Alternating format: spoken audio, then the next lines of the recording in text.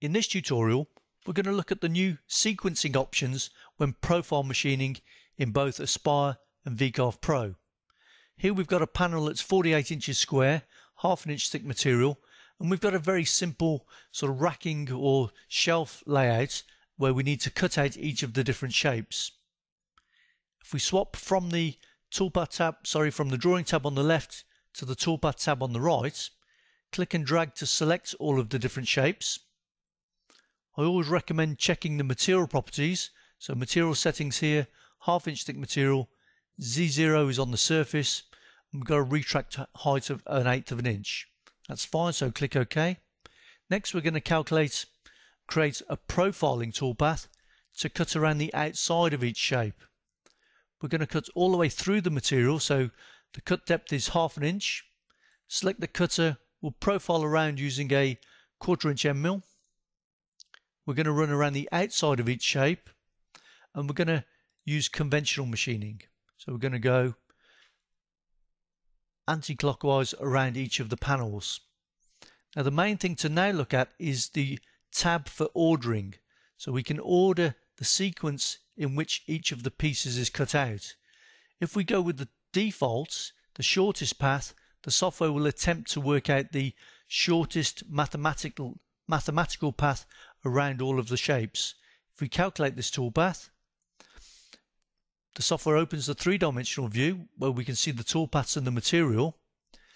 We're in preview mode. If we use preview toolpath, it's quite difficult to see the order in which the toolpaths are being machined. If we reset the preview, we can use the video control and we can run the preview to the next retract position. So retract, so we'll cut out the first panel run again to the next retract and this allows us to step through the toolpath. So it's now cutting out the slots. The next one will cut around the outside of the the uh, end plate on this this cabinet panel. We'll do the same again. So stepping through and we can see the cutting sequence order very easily. And finally the the stars are being cut out in the top right hand corner. Now that may be fine for some projects but if you're using a vacuum table, for example, the little stars you may be difficult to hold down. So they may be the first shapes that you wish to cut out. So cutting those out, you'll have maximum vacuum on the table. So there's a chance that you'll hold them in place.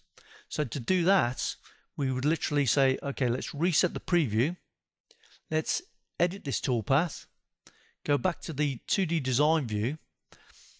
Click on the ordering option instead of using shortest path, let's use the vector selection order. So now I'm going to say, okay, let's machine star one, holding the shift key down, two, three, four, and five. Then we want the toolpath to come across machine this panel, then this panel, then come down and machine this panel, this panel, this panel, and then go back up to this one, this one, and finally finish with the panel in the middle. So we've started, we want the, the cutter to machine the stars, each of these end panels, then the intermediate panels, and then the shelves. So we've used the option vector selection order. So now if we say calculate, let's zoom in a little bit. We have the toolpath selected. Now if we say run to retract, you'll see star 1, star 2, star 3, 4 and 5. Then we do the grooves and the outer edge. We do the second end plate. So the, the software is cutting in exactly the order that we've specified.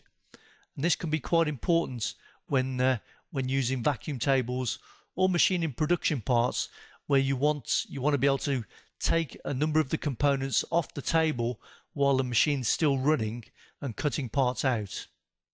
So the key to this, profile machining, order, and you've got options for, you can say selection order, we can force it to cut from left to right, or from bottom to top, or shortest path, or a grid option.